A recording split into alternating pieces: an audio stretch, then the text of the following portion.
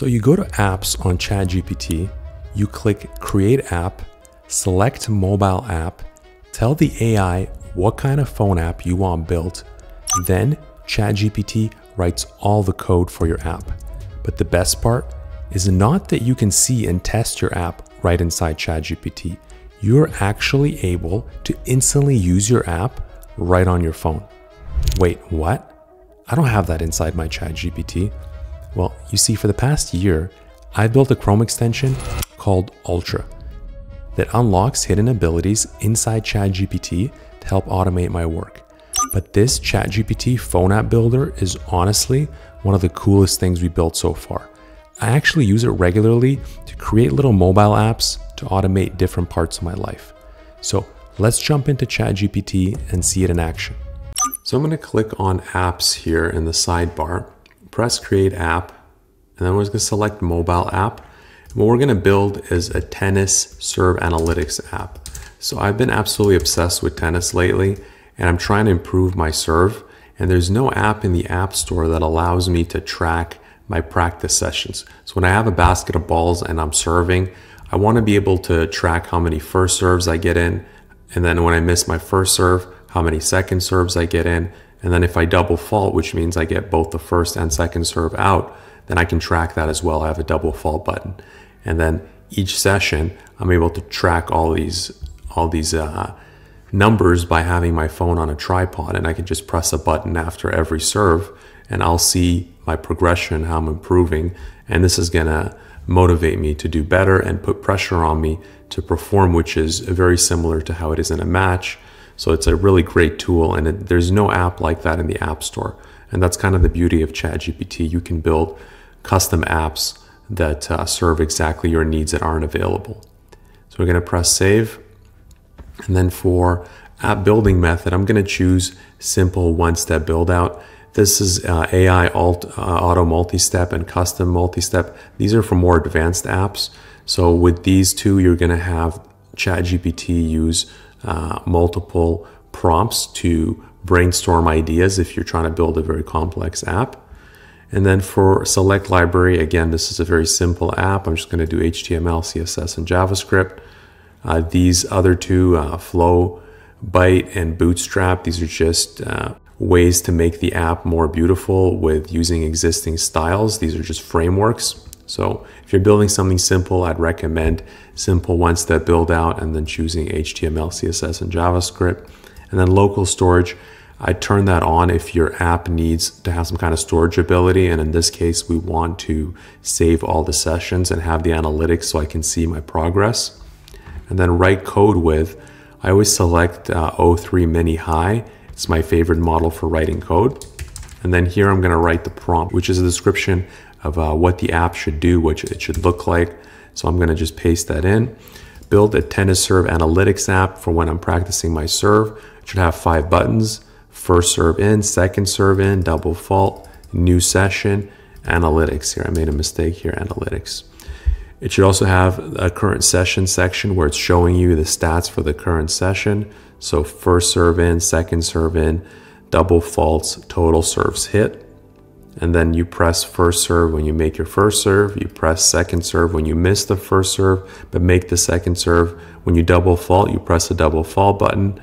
And then here I'm telling it how I want the analytics to work, how there's a separate row for each session, and then you can delete each session as well from the analytics. So let's press build app now and have ChatGPT build this phone app for me. So here you're going to see it starting to reason with the O3 high model. It's actually using your ChatGPT account in the background to start talking to itself and coming up with a plan to make this app. And as soon as it starts writing the code, you'll be able to see it here. It will use these tabs and then as soon as it's done, you'll see a preview of your app here and you'll even be able to test it out and play around with it. So here it's starting to write the code. This is the HTML code and you can see it in that tab as soon as it's writing all the code. Then it switches to CSS and it's writing all the CSS. These are all the styles and the design of the app. And now it's writing the JavaScript, which is kind of the logic behind how everything works in the app. And as soon as it's done this, we'll be able to see a preview of the app. and be able to use it right on our computer. Okay, and there the app is done. Uh, it's not the most beautiful app, but it's very simple and I think it can get the job done. So let me pull up my phone and record my screen so we can see how it works on the phone. Here, I'm going to uh, press Ultra and I don't have any apps imported yet. I press the import button and right away I'm going to see Tennis Serve Analytics. I just press on that and as soon as I have that here, I can start using it. And as you can see, it's exactly the same app we have on the computer. So when I'm doing a new session, you know, I'm getting my first serve in, you see it's updating. Let's say I, you know, get, now it's a second serve in. Then I have a double fault. Then I can press new session and everything goes to zero. But when I press analytics, you'll see that it shows all my statistics here. And then I can go back, do another session, press new session, analytics, and now I have the other session as well. So it shows me all my statistics and I can see how I'm improving. So for the next example, I'd like to build a time converter app. So I work with people from around the world and sometimes they we talk on the phone and we're trying to figure out uh, when we can jump on our next call. It's be so much easier to have an, just an app. I can quickly see uh, what time it is in uh, my time zone compared to their time zone. So I'm going to create an app and we're going to call this uh, time zone converter. You can put a clock icon. This is a mobile app. Press save. Again, simple one-step build out, HTML, uh, CSS, and JavaScript. This one actually doesn't need local storage, so I turn that off. Again, we'll use uh, mini high. And let me show you the prompt that I created. So build a time converter for, for five time zones that I use on a regular basis. The five time zones needed should be shown as cities. So this is places that I work, uh, work with people from. Toronto, Canada, Los Angeles. Toronto, Toronto, Canada is actually where I'm from. Los Angeles, London, Hong Kong, and Melbourne, Australia in the UI only show the city names. I want the UI to have buttons at the bottom of the screen to go left or right. So as you press the button, the time is aligned on something that looks like a tape for all five cities. So this kind of allows me to scroll back and forth uh, where all the time zones are perfectly aligned. This is kind of a cool UI that's not really available as a phone app and allows me to see all the time zones at the same time from all the cities. Um, and you should be able to see three time zones at a time. So 7 p.m., 8 p.m., 9 p.m. as an example. And then as you're scrolling, it would be, you know, 10 p.m. here, it would be 9 p.m. and 8 p.m.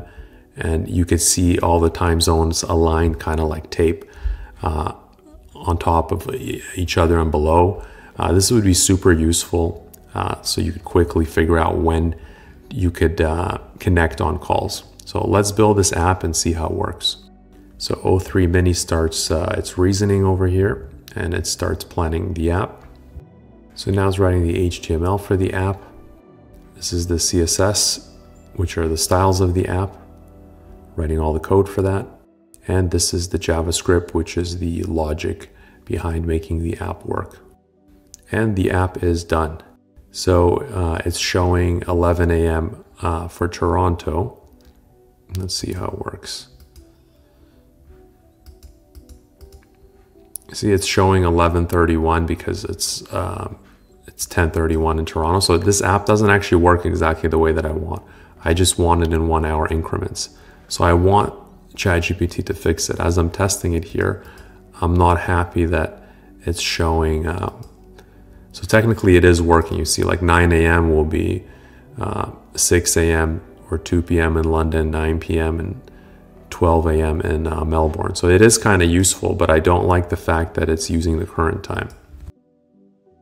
So I'm telling it not to have any relation to the current time because I don't need that. So this is kind of the beauty of what we can do here. When it doesn't do exactly what you want, you can ask it to fix the problem. So we're going to send that off and let's have ChatGPT fix our app for us. So here it's writing all the code that needs to be fixed. It's only writing JavaScript. It seems that only JavaScript code is required to fix the issue. So here everything's resolved And let's see. Yeah, it's working perfectly. So let's say I know I can make a, my call at 3. So I uh, move this to 3 p.m. my time and I could see that it's 12 p.m. in Los Angeles, 8 p.m. in London, 4 a.m. in Hong Kong. But let's say uh, my friend calls me from London. He says he can do the call at 6 p.m. So I go backwards and I see here 6 p.m. and I can see that it's 1 p.m. my time. So it, this kind of UI is very useful for me. It just allows me to kind of convert back and forth, kind of with like uh, a moving slider that I can see all the different time zones. But uh, let's see how this actually works on the phone.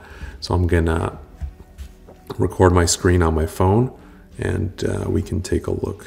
So I press on Ultra here and I'm going to press import. Got time zone converter. I press on that. We load the app and as you can see it works exactly the same as on the computer. You can always exit the app, go back to it. Yeah, it's working perfectly. Does exactly what I need. Now, you're probably wondering, how do I upgrade my ChatGPT with Ultra? And what is the cost? So upgrading your ChatGPT is just a one-click Chrome extension install. You will see ChatGPT instantly transform and get all this new functionality, like the ability to build multi-step prompt flows to generate entire massive projects with just one click.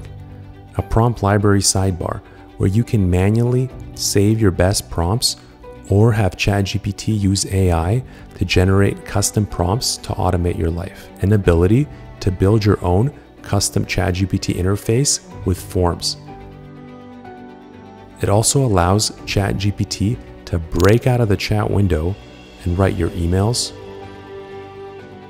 talk to YouTube videos,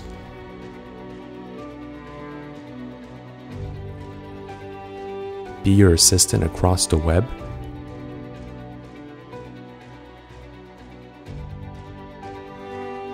work inside your documents